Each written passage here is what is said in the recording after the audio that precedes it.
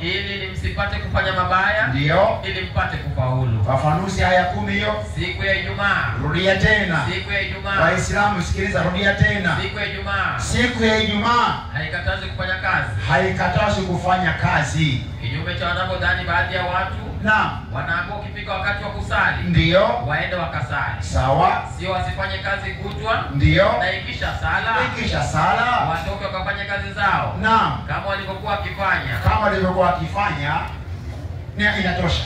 Sasa mimi nauliza swali. Kwa sababu qurani imejibainisha bayani kuwa ijumaa siyo siku ya ibada ni kama vile siku nyingine watu wanakwenda msikitini wanaswali wakimaliza assalamu alaikum warahmatullah assalamu alaikum warahmatullah wamemaliza swala wanaambiwa fanya nini? Rudini katika shughuli zenu. Alhamisi hivyo hivyo baada ya swala rudini katika shughuli zenu. Ijumaa hivyo hivyo baada ya swala rudini katika shughuli zenu. Kwa mujibu wa imani ya kiislamu siku kamili ya ibada ipi naomba ninyamaze kimya tusikilize majibu kama swali litajibiwa ama watahepa kama wanavyohepa kila siku bwana yesu asifiwe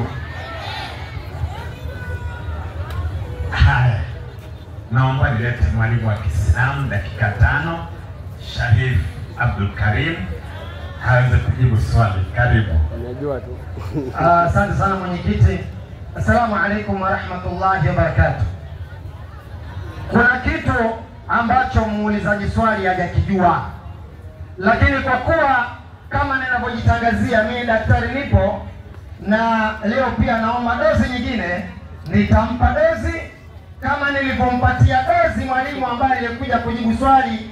Swali niliuliza kitu chengine, naitisha kibakuli, ananipatia kikombe. Nimeuliza mimi hapa na wewe dozi pia nakupa. Nimeuliza kama Biblia inasema sabato ilitiwa unajisi, wapi aya katika Biblia au hata Qurani Mungu ameisha ameisafisha sabato? Kwa sababu sasa hivi ni chafu, wapi aya? Alienda akatapatapa hivi akajifanya mjanja wa chura kurukaruka bila bukta na mechi hana. Lakini ina shida. Leo ndio utajiwa kwa nini Mungu akisikia raha tikishi kichwa atigisha mkia. Leo ndio utajiwa. Naomba niweke wazi 18 moja Luka. kumi na nane Eh, moja Luka. Moja Luka Ndio. inasema hivi mwalimu Naam.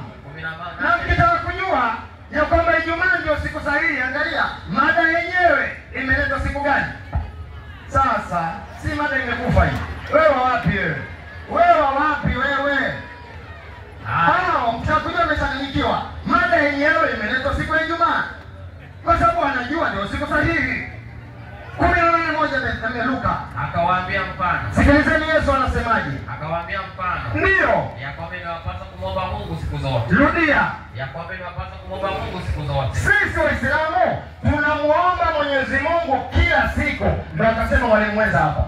Siku ya Ijumaa ni siku ya mju- mjumuiko ya watu, mjumuiko ya watu, lakini nyinyi wa Kristo ni Jumamosi mpaka Jumamosi, lakini sisi sasa tunamwomba Mungu kila siku. Qurani 24 36 ishirini na nne si hapa mwingine anapiga kelele kule wapi? Kakupandiko wewe. 24 36 Qur'an. Soma hiyo. Na kwenye aya za Qur'an. thelathini na tisa Eh, ishirini na nne 24 36. na Nasikia kuna pasta moja ukalalamika anasema si hata sisi tunaomba Mungu kila siku. Wapi? Mimi si naenda kanisani Jumamosi mpaka Jumamosi jamani, simkubali tu hilo.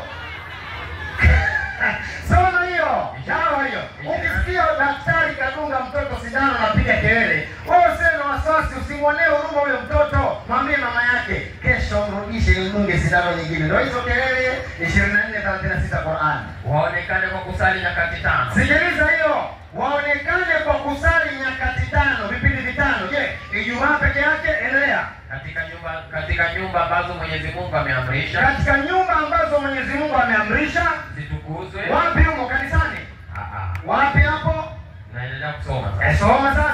Na humo litajwa jina lake, Wapi hapo? yaani Yaani, misikiti. angalia vizuri kanisani, angalia vizuri. Ah, misikiti Misikiti, endelea. kumtukuza humo Sikiliza vizuri, kumtukuza humo asubuhi asubuhi na jioni. na jioni, kila siku asubuhi na jioni. utaona Waislamu wanaenda msikitini. Asubuhi salatu alfajiri, adhuhuri saa sita, alasiri saa kumi, magharibi kipindi cha sasa hivi kwanza mnatucheleweshea, tunataka tuende msikitini na ishai saa mbili. Kila siku tunaenda msikitini. Kwa hivyo Ijumaa ni siku maalum ya kujumuika, lakini kila siku sisi tunafanya ibada.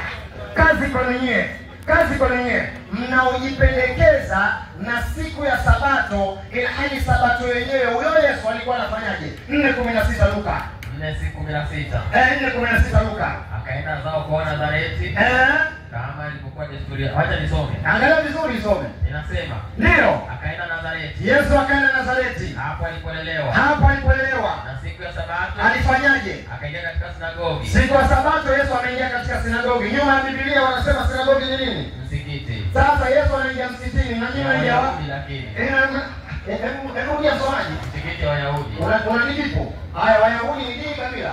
inaendelea. Wacha nisomee haya Twende hapo hapo, wewe umenijibu. Wayahudi dini kabila dini Wayahudi dini. Kwa hivyo hakuna Wayahudi kabila. Hivyo Yesu alikuwa hivyo Yesu alikuwa Myahudi. Sallallahu ala Muhammad. Nyinyi mnaodai wa sabato nyie. Yesu anaenda siku ya sabato msikitini. Nyie mnafanya nini kanisani? 11 17 kitabu cha Wakorintho wa kwanza. 11 Tarehe kumi moja kumi na saba Wakorintho wa kwanza, Yesu siku ya Sabato anaingia msikitini. Nyinyi mnafanya nini kanisani? kumi na moja kumi na saba Wakorintho wa kwanza. Eh. Lakini katika kuagiza haya, lakini katika si wasifu, ya kwamba mnakusanyika huko kanisani, si kwa faida bali kwa hasara. Endelea kumi na nane. Eh, kwa maana time one anajua huyu kwamba nimeshaanza lazima niwe, lakini pasta akisimama hapa jana pasta akatumia dakika nane hapa, lakini leo nimepea dakika tano tu time.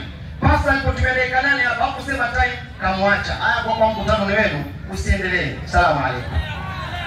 Niendelee. Maliza hiyo andiko, maliza. kwa maana Maliza. Kwa maana- Maliza tu nikupe mic. Kama maliza. Ehe. Kwa maana kwanza mkusanyikapo kanisani kwanza wanapokatika kukutanika kanisani nasikia kuna faraka kweli. nasikia kuna faraka, mnafarikiana, wengine wa Kikuyu, kuna kanisa la Wajaluo, kuna kanisa la Wakamba, mnafarikiana. ile Biblia inasema mnapokusanyika sio kwa faida bali kwa hasara. Ndio maana Yesu hata siku ya Sabato kaingia msikitini, niye kanisani. Hadi nimaliza imani. Salamu. Asante.